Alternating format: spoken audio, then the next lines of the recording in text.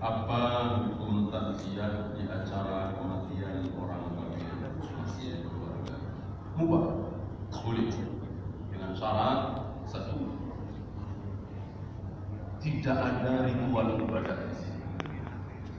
Kalau ada ritual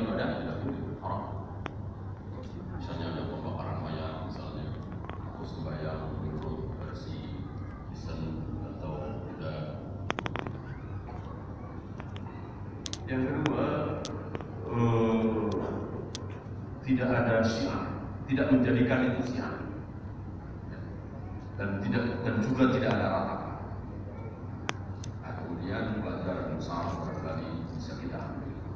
Rasulullah tidak datang di acara pemakaman siapa? Abu Thalib, paman beliau. Datang.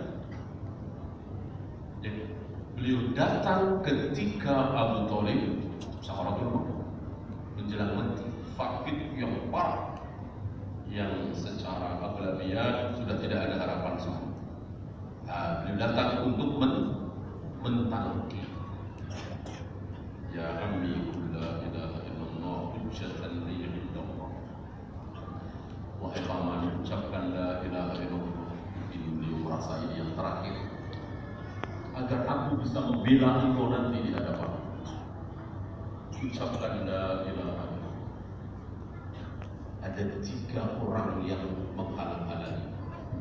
Ada tiga orang yang apa istilahnya merecokin Nabi mentalkin uh, Abu Thalib salah satunya adalah Suhail bin Amr dan belakangan Suhail bin Amr masuk Islam. Ini luar biasa rahasia menghalang-halangi Abu Thalib masuk Islam akhirnya dia sendiri masuk. Islam nah ketika gagal sudah.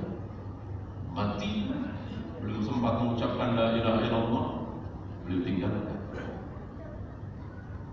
Ya.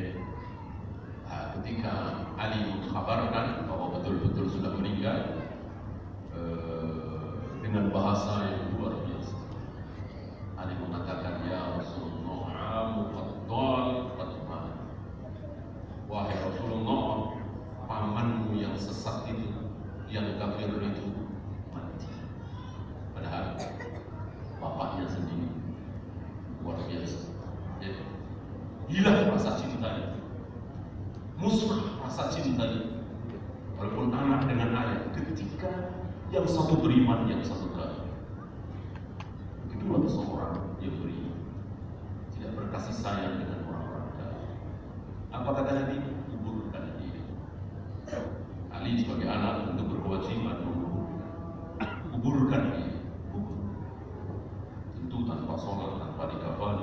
disolat dan sekali lagi Rasulullah tidak hadir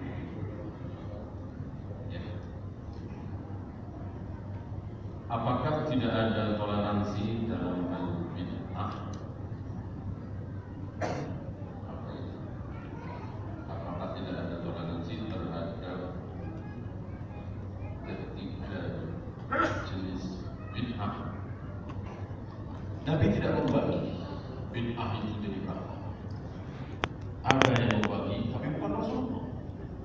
Rasulullah mengatakan kullu bid'atin dalalah ditambah dengan tegas wa kullu dhalalatin bid'ah mau diapakan lagi semua bid'ah sesat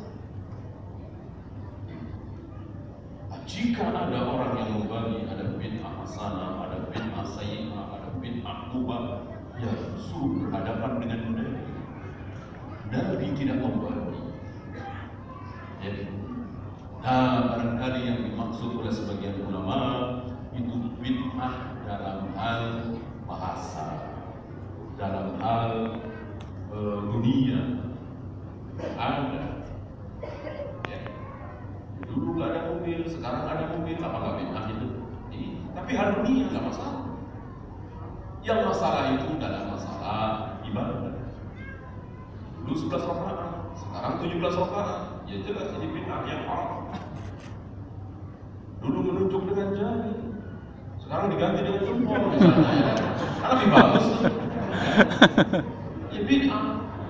Dulu hanya ada sholat tiga kali, bukan karena Allah suka yang ganjil yang tiga. Ya, hanya ada sholat tiga kali, bid'ah sesat. Adapun dulu tidak pakai pengeras suara, sekarang pakai pengeras suara, ini nggak masalah. Bukan itu yang dilarang, bukan isinya. Ya.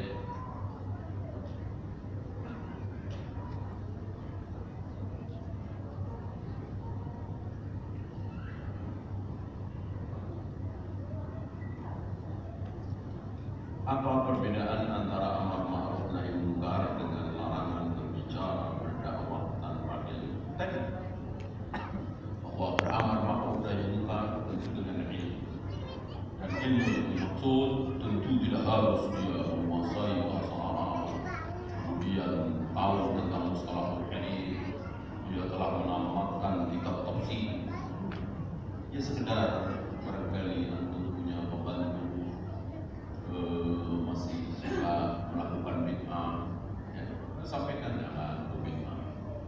bagian dari apa? Yang sifatnya bukan majelis pembahasan. Apa untuk mengajak pembantu kita, adik kita, anak kita supaya meninggalkan bid'ah maksiat harus berilmu harus menguasai bahasa Arab dulu harus menguasai tafsir kan kecuali kalau mau buka majelis. Nah, bedakan ya masih banyak pertanyaan